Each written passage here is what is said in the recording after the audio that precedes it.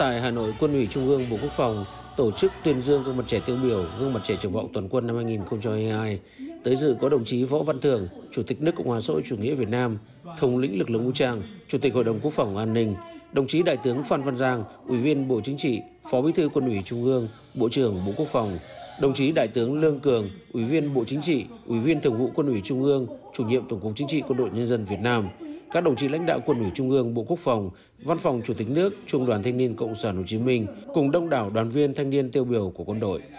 Chương trình tuyên dương nhằm ghi nhận, cổ vũ, động viên, biểu dương, tôn vinh những tấm gương tiêu biểu của tuổi trẻ quân đội, tạo động lực để cán bộ, đoàn viên thanh niên không ngừng phấn đấu và trưởng thành, đẩy mạnh học tập và làm theo tư tưởng, đạo đức, phong cách Hồ Chí Minh, làm sáng ngời phẩm chất bộ đội cụ Hồ thời kỳ mới, sung kích, sáng tạo, hoàn thành xuất sắc mọi nhiệm vụ, góp phần xây dựng tổ chức đảng trong sạch, vững mạnh, tiêu biểu, cơ quan đơn vị vững mạnh, toàn diện, mẫu mực, tổ chức đoàn vững mạnh, xuất sắc. Ba năm qua, đã có 30 đồng chí được tuyên dương gương mặt trẻ tiêu biểu toàn quân, trong đó có 4 đồng chí được tuyên dương gương mặt trẻ Việt Nam tiêu biểu, 5 đồng chí được tuyên dương gương mặt trẻ Việt Nam triển vọng. Tại lễ tuyên dương, đồng chí Võ Văn Thưởng, Chủ tịch nước Cộng hòa xã hội chủ nghĩa Việt Nam đã có phát biểu động viên khích lệ tuổi trẻ toàn quân các đồng chí được bình chọn và tuyên dương gương mặt trẻ tiêu biểu, gương mặt trẻ triển vọng vào hương hôm nay là những đại biểu ưu tú của thanh niên quân đội, góp phần khẳng định và lan tỏa phẩm chất cao đẹp, bộ đội cụ hồ thời kỳ mới. Tôi được biết, việc tổ chức bình chọn và tuyên dương gương mặt trẻ tiêu biểu được thực hiện từ cấp cơ sở, tạo nên phong trào thi đua sâu rộng ở các cấp. Như vậy không chỉ có 10 gương mặt trẻ tiêu biểu,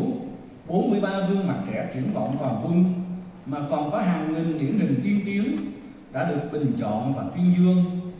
thành tích chiến công của các gương mặt trẻ tiêu biểu và của thanh niên quân đội đã góp phần rất quan trọng vào thành tích của toàn quân hoàn thành tốt chức năng đội quân chiến đấu, đội quân công tác,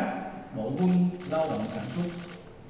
Thay mặt lãnh đạo đảng, nhà nước tôi nhiệt liệt chúc mừng biểu dương thành tích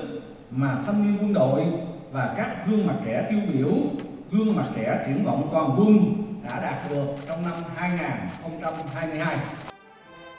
10 gương mặt trẻ tiêu biểu, 43 gương mặt trẻ triển vọng toàn quân được bình chọn năm nay là những điển hình ưu tú nhất đại diện cho hàng trăm nghìn đoàn viên, thanh niên trong toàn quân trên các lĩnh vực huấn luyện, sẵn sàng chiến đấu, giảng dạy, học tập, nghiên cứu khoa học, lao động sản xuất, thể dục thể thao, văn hóa nghệ thuật,